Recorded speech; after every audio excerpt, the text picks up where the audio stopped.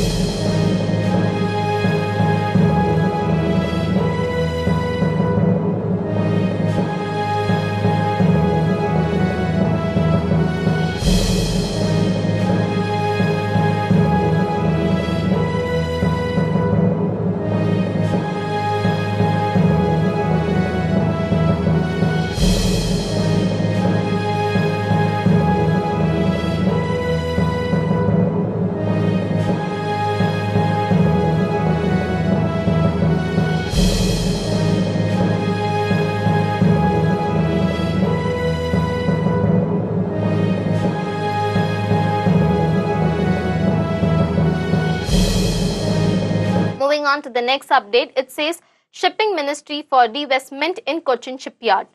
The Shipping Ministry supports the move by the Department of Economic Affairs move to divest government equity in the state-run Cochin Shipyard, India's largest shipping and ship repair yard.